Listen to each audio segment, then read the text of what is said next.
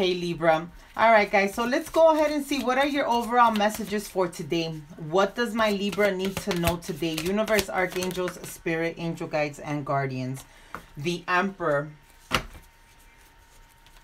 Okay, so there is a lot of structure happening here today. You may be getting ready to take on a leadership role. Today, you may be presented as the new boss or you're going to be made, someone's going to make an offer to you regarding a new position here. For some of you guys, you're taking your leap of faith today. You're opening up your business today. So there's definitely an energy here, organization and logic with the two of earth here two of pentacles it's you balancing things out is making things work okay you've been considering this move for quite a bit and I feel that today you're finally making that decision to either walk away from a position that you may hold as an emperor here at a company, but it's because you're getting ready to become your own emperor, your own boss. Okay. So today, Libra, there is there's definitely a, an a balancing of energies here today okay? Making things right. And i feel that with this life experience here libra it's like you're gonna take this leap of faith okay? Whether you're successful or not you're not gonna worry about that right now. You're just gonna take this leap of faith because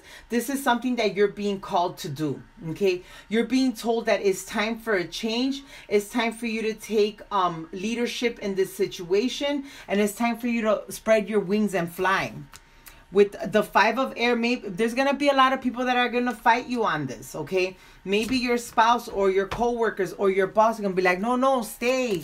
I can offer you more money. Or maybe your spouse is gonna be like what are you crazy? We're gonna lose the house the cars the kids need to eat. And today you're gonna be like you know what? This is something that i have to do for me for us.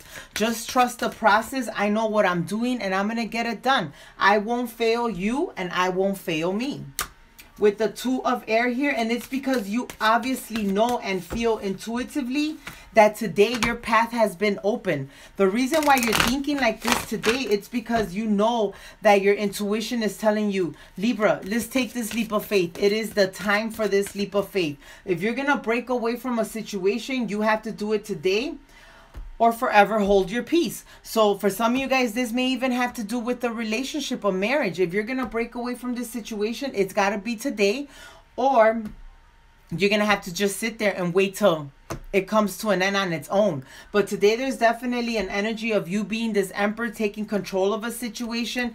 Yes, as hard as this may be, as scared as you may be, you're being told to stand in your strength, okay? The decision that you're making is the best decision that you can make. And it's definitely a divinely guided decision for you.